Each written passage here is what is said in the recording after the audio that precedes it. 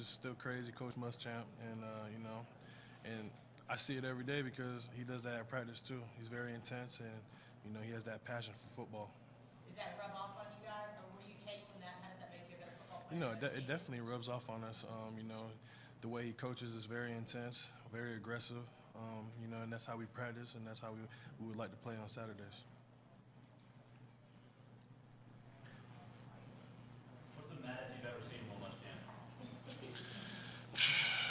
Every Saturday, pretty much. There's a, there's something that that makes that man go berserk.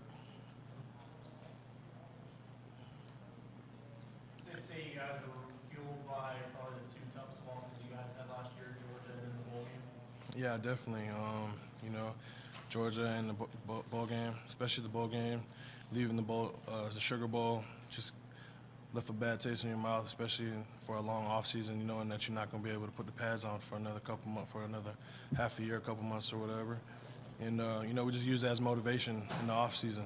Uh, you know, to to finish the season strong. You know, take every game the same, approach the week every week the same. Don't don't take your opponents lightly and just just bring your A game every every every week. How has the offensive line dealt with the additions of Max Garcia and Yeah, definitely. Um, you know, with uh, Max Garcia and Tyler Moore coming in from uh, other uh, colleges, especially having some games underneath their belt, you know, it, helps us. Uh, it helps us um, mesh real well, and uh, you know they're two very hardworking guys, and um, it's gelling really good with them. With them too, it's a real good. It's a real good key um, addition to our offensive line.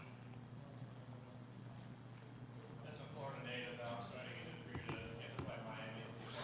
It's very exciting. It's very exciting. You know, um, you know, every year you look forward to playing against FSU because it's an in-state rivalry. Now, I mean, now now you get to experience that twice, Miami and FSU. So it's pretty neat.